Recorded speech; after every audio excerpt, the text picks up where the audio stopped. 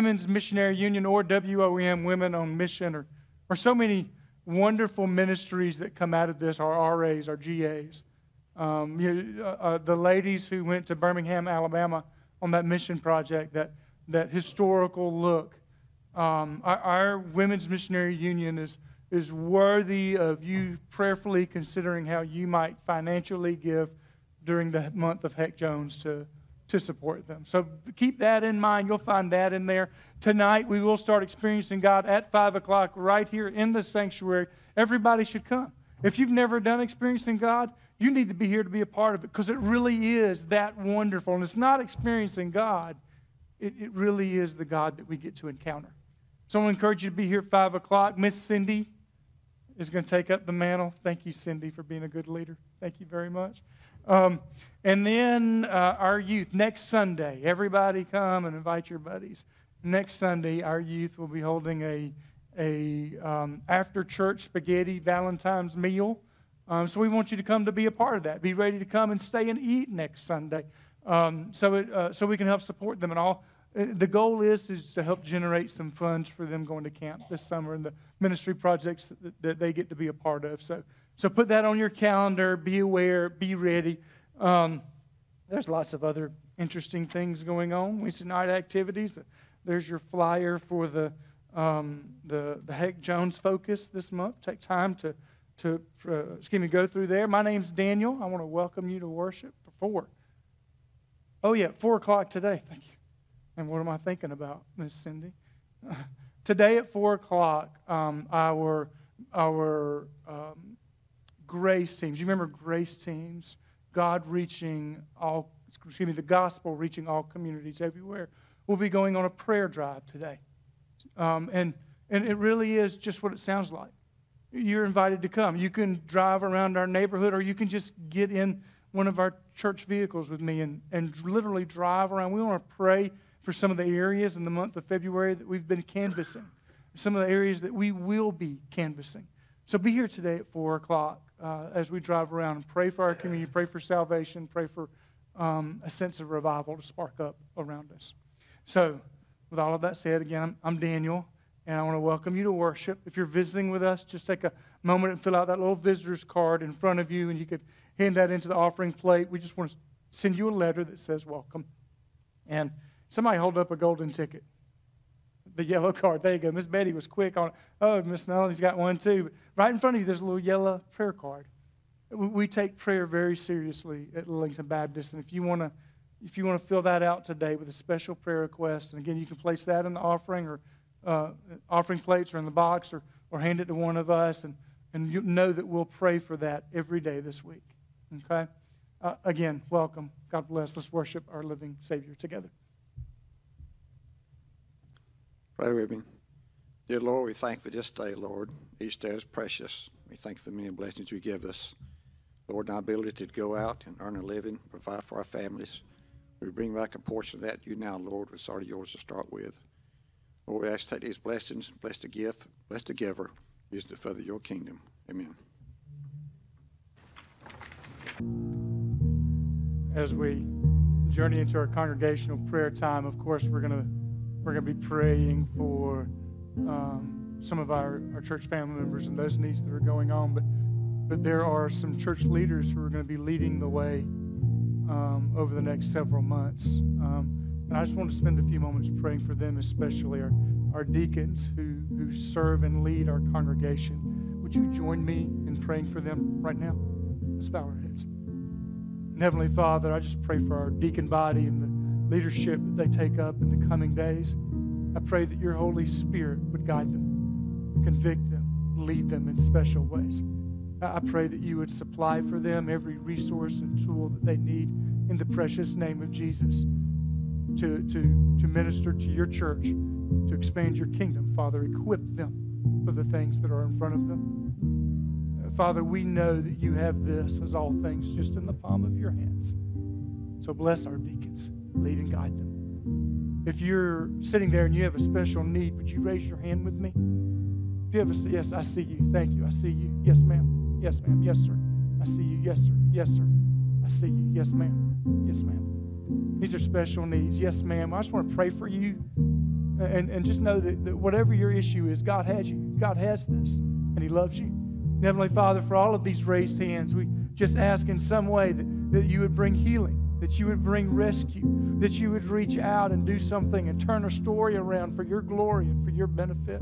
Father, I pray that, that where a special sense of your Holy Spirit or, or spiritual revival is needed, that you would that you would provide that with each one of those raised hands. And for each one of us, Father, here this morning, we put our minds before you and our hearts before you and ask that in some way you would lift us up today. Some way you would convict us and turn our lives around and shape us to look more like your Son. And I pray this in the precious name of Jesus Christ. Amen.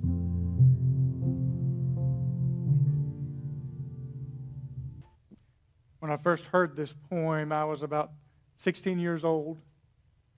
I was attending something that was called Boys State. Have you ever heard of Boys State? There's ladies, if you have, there's also a girl state. okay. But it was a program where, where we would go and learn about you know, civics, government um, for, for a little while in the summertime. And I was chosen for my community to be able to go with a couple of my buddies. And and one of the leaders there at the end of that journey read this poem to us, loved this poem, because I believe that there are some called to build bridges. I believe that there are some called to build bridges from, from one place to another. And the, the poem talks about doing an older person doing it for a younger person and that bridge that's built around. But man, there, I believe that there are some of us that are called uh, to, to build bridges, maybe from earthly things to spiritual things, from hard things to encouragement. You know, we've been talking about these second chair issues. There are first chairs, and if you're a first chair, if you're a first chair leader, we thank you for that. You know, first chair leaders are, are those that God has placed in the front, like Moses, like Moses. But then there are people that God also called, called to help support Moses. And we've been looking over some of those characters. We're going to look over two more today. If you have your Bibles, I encourage you to open them to Exodus chapter 31. And we're going to discover two bridge builders. They're not called to be first chairs, but they are, they are called to build bridges. And we're going to see how God calls them. All of us, then, second chair people. Listen today. Because your position is powerful, it's significant, and God's calling you and wants to use you as well. So, again, Exodus chapter 31. If you'll stand with me, I will read aloud, and you can read silently. And I'm going to pick up in verse 1 and read down through verse 11. Then the Lord said to Moses, See, I have chosen, chosen Bezalel, son of Uri, the son of Hur, of the tribe of Judah. And I have filled him with the Spirit of God, with skill, ability, and knowledge, and all kinds of crafts to make artistic designs for work in gold, silver, and bronze, to cut and set stones, to work in wood, and to engage in all kinds of craftsmanship. Moreover, I have, upon, uh, I have appointed Oholiab, son of, Os, excuse me, Ahisamach. Let's just call him Ahi, okay? Of the tribe of Dan to help him.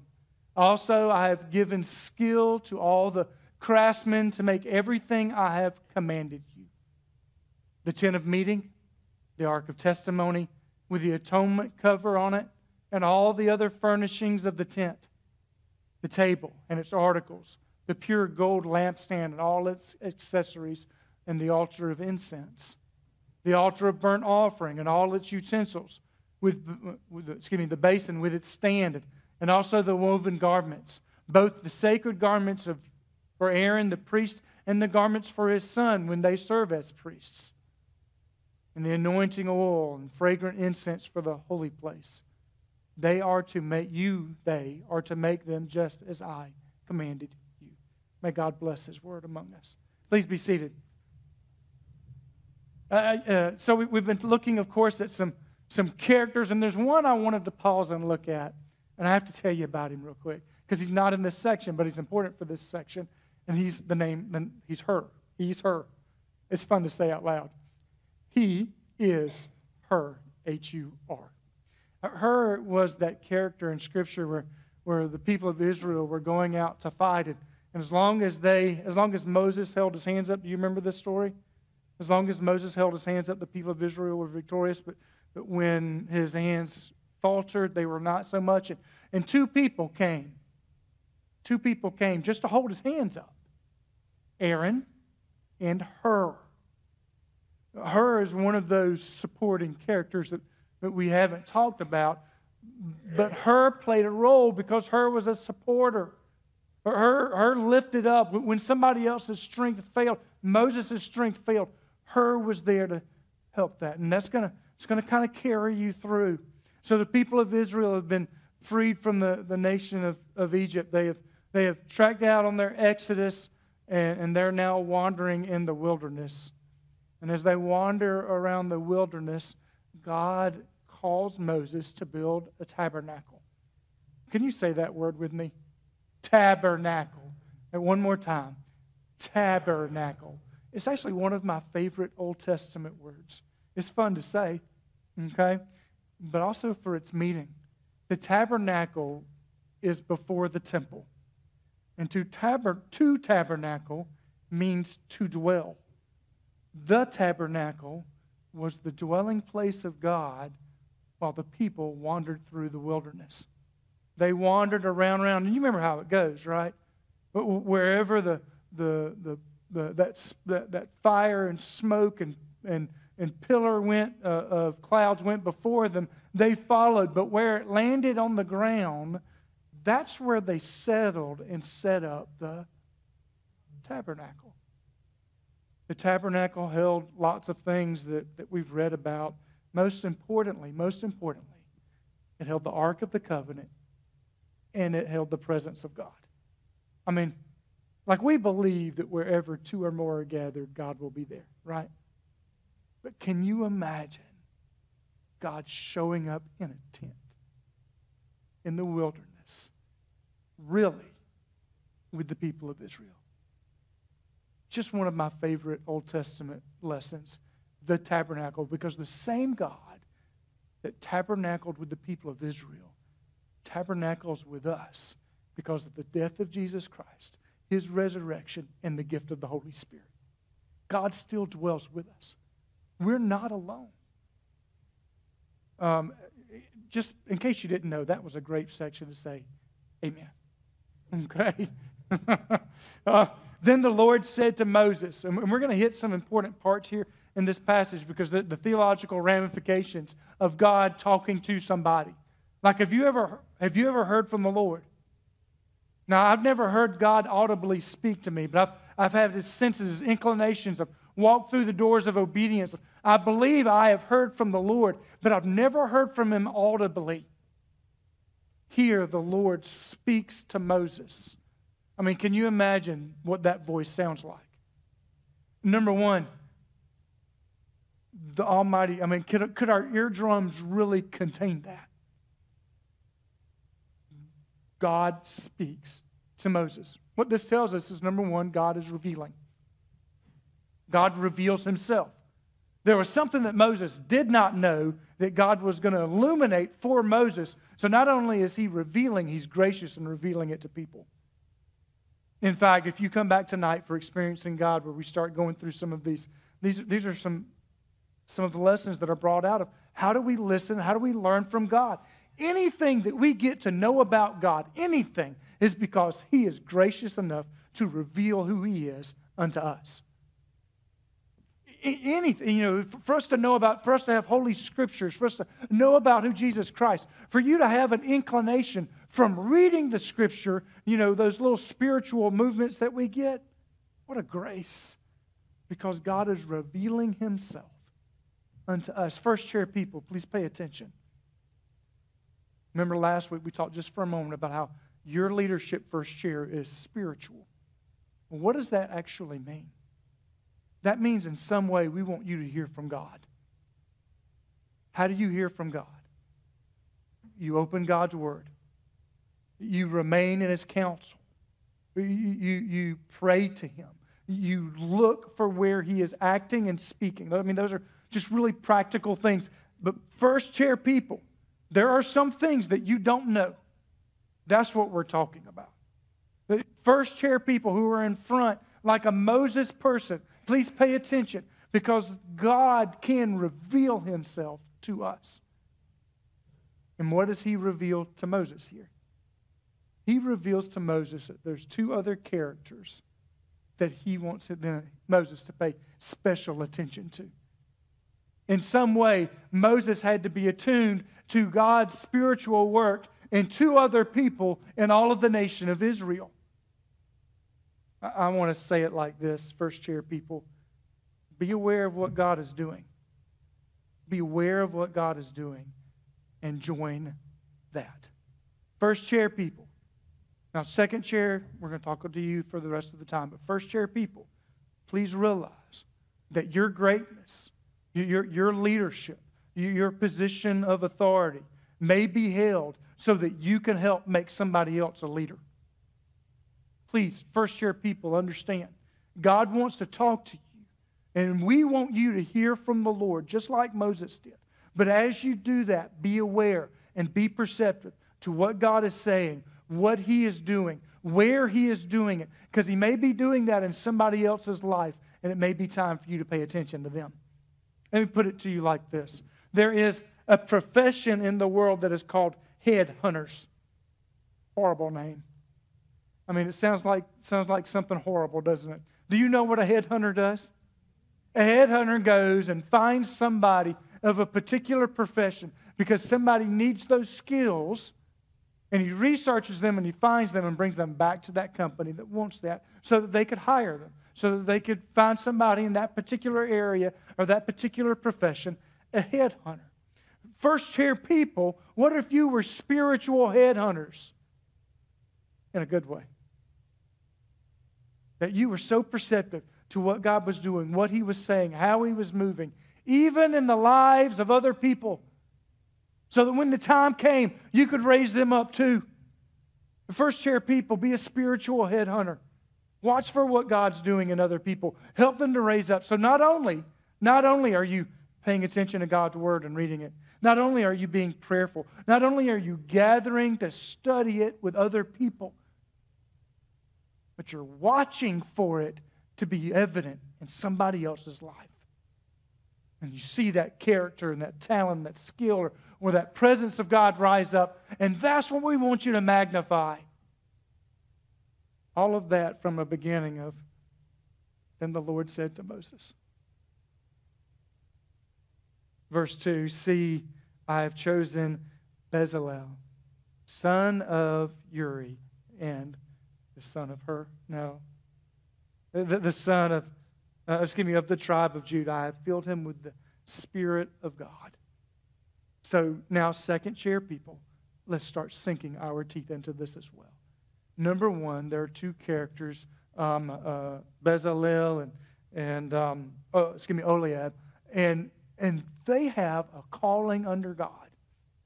Now, their calling isn't to be Moses. Please pay attention. Their calling is to be what God designed them to be.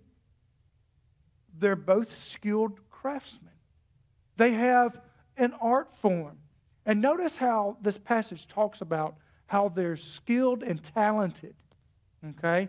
Um, God says, I have filled him with the Spirit of God, with wisdom, with understanding, with knowledge, and all kinds of skill. For these two characters, their skills, their talents, their equipping is God inspired. It's divine. It has a purpose. So if I if I say that for these characters, guys, I think it's true for all of us.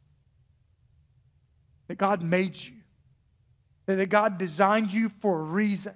And whatever skills and talents you have, I, you know, he, he designed you with those skills and talents for a reason. Second chair people, you are significant in the divine plan. You have a, a part to play. And, and God designed you uniquely to play that part. You're special.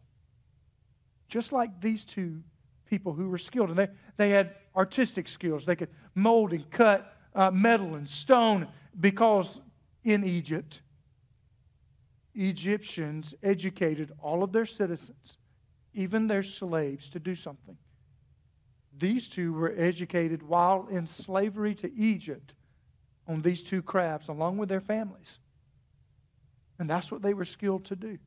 That even in hard times, God was designing them for a glorious time. God has a purpose for second chair people. Whatever skills and designs you are, now pay attention. Here's the linchpin, here's the, the kicker. We don't have to use our skills and talents for His glory. We can choose not to. We cannot answer the call. But that's not what we're asking for this morning, are we? The plea is to answer the call. Second chair people, you're designed for a reason by God, and He wants you to fulfill that purpose right now. You're significant. Excuse me. My grandfather was a, a giant. Like I'm, some of you consider me tall. And, and he had a few inches on me. And can you imagine? My grandfather passed away when I was a young boy. And, and to, I mean, that old saying about being knee high to a grasshopper, that was me to him. He was a great guy. I mean, a pastor, loved the Lord. His name was William. Everybody called him Bill.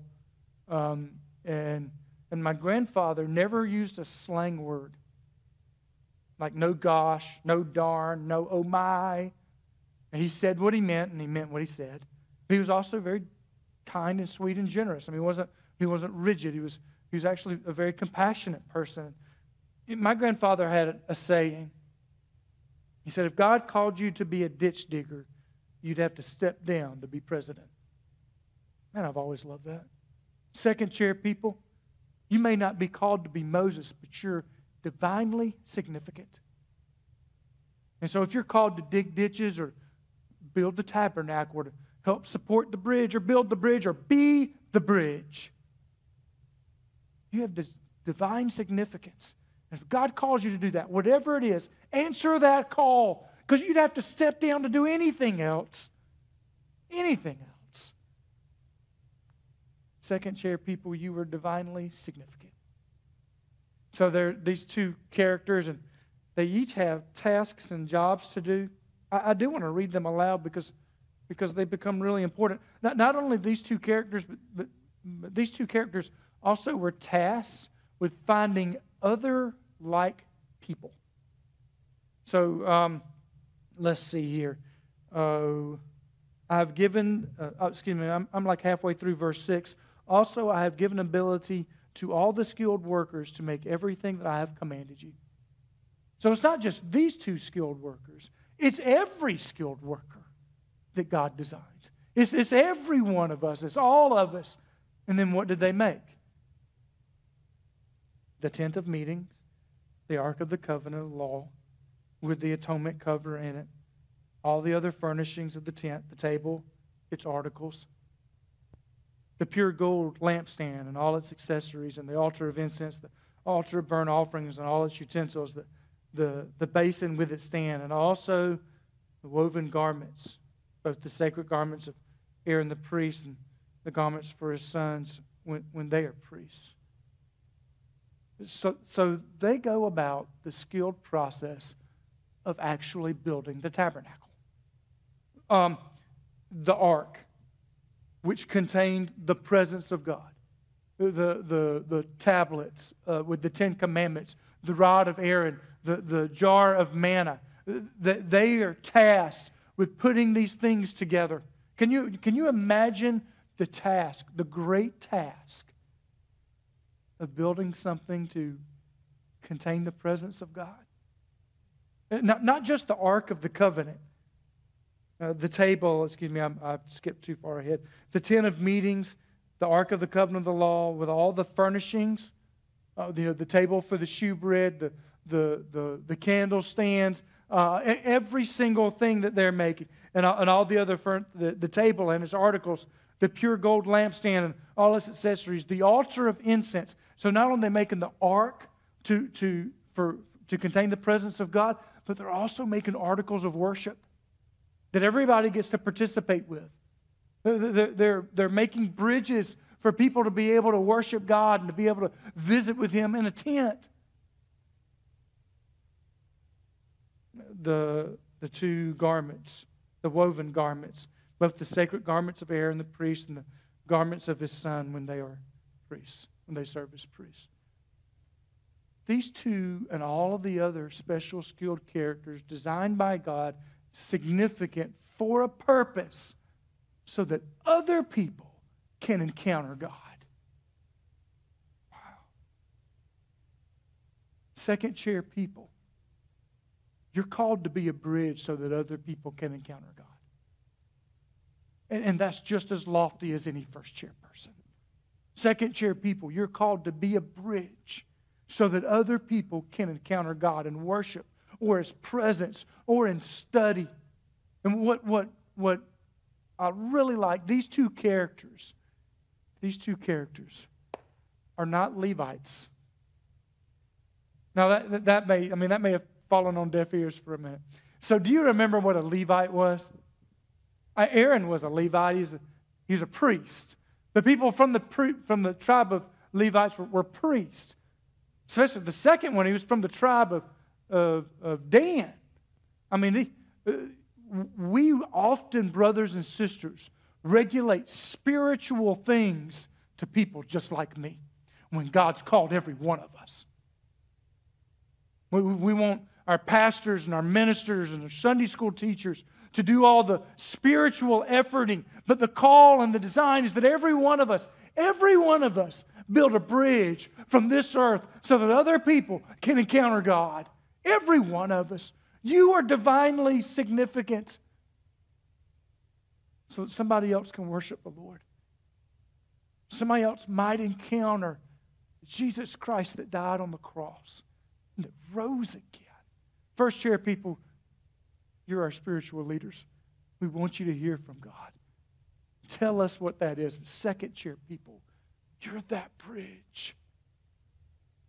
So there is a, a section of land um, that's called the Sanibel Causeway. Does anybody know where the Sanibel Causeway is? Where is it? Florida. That's right, it's in Florida. Well, you know where it was. I didn't see you over there, Joe. Sorry about that, buddy. Give credit where it's due. so the Sanibel Causeway is a, a, a series of three bridges they're about six miles, I believe, long, and, and they connect South Florida with Sanibel Island. The causeways, these little man made islands, are heaped up with dirt and sand, and that's where a bridge comes in. I mean, this can, there, there is one way, or there's one way to get your car to Sanibel Island, and that's through these causeways. Last year, we had a few hurricanes. Do you remember the hurricanes? Ian, I believe, was one of them. Last year, excuse me, Hurricane Ian came up and destroyed the causeway. Matthew, would you show us that picture? There's one way to get on and off the island. This is real. And this is just one section of that causeway. Um, the, the bridges go and go and go. And remember, there's three of them, six miles long in, in, in its entirety. So the people, if you're if you're like me, I'm going, well, what about the people on the island? How are they going to get off that, get their cars and their stuff and move their junk off the island, or, or, or vice versa? How are they going to get stuff on the island so that their houses can be repaired, their cars can be repaired? We got a serious problem, don't we? I mean, this actually happened. This was last year, and the causeway is destroyed in more than one section because of a hurricane. Now, it's being repaired or has been repaired or what have you. This is all to show you one simple thing, brothers and sisters, second chair people. Do you understand the benefit of a bridge? And what happens when it's not there or not working right? The people are left alone. You are the bridge, second chair people. Like they were for Moses, who came and helped to build the tabernacle so that people could meet and worship the Lord. You're that person that might be for your neighbor or your family member or your coworker or etc so that they have a place because of you to come and worship the Lord. Now Jesus said it in a different way in Matthew chapter 28. Do you remember what Jesus, Jesus said in Matthew 28? You do. We know, don't we? Go ye therefore unto all the nations, baptizing them, teaching them you are all the same bridge that Jesus sends us out as. To provide a connection just so that somebody who doesn't and can't might get to know God. Would you take up the calling, second chair people, to be a bridge? Our world needs that desperately. Your community, our, our little neighborhood right here needs Christians to be a bridge so that other people, and I don't, uh, the bridge is now a metaphor for your skills and talents. Some of you may be woodworkers or electricians or you just may talk really well, or you might know how to wash a car, balance a checkbook, or help somebody do their taxes. You might know something that God wants to use because whatever your skill, whatever your talent is, it's not insignificant. It's divinely designed to accomplish the kingdom's plan so that all people can go to heaven. But what happens, brothers and sisters, when we're not the bridge? Second chair people don't rise up. And people are stuck on the island by themselves. So we're going to have an invitation in a few moments. So it's real simple. First chair people, we need you to be our first chairs. We need you to continue hearing from God. And so would you commit, first chair people, to stay focused on God's calling, be perceptive to what He's doing around you and in other people. And then share that with all of us. Second chair people, would you hear today that you have a divine purpose? And would you answer that purpose? Our world needs that today. Heavenly Father, I thank you for these moments that we've had together and just ask that in some way that you would raise up among us missionaries right now, Father missionaries in neighborhoods right here, missionaries in households, people who are building bridges right now. Would you raise up second chair people ready to serve your kingdom's cause with whatever skill or talent that you've given? Father, you know us all. So you know how you've gifted us. We know how you've talented us. And we just ask that you would call us right now and help us to rise up in that. And I pray this in Jesus' name. Amen. Just stand with me. Would you answer the call? First chair, second chair people today.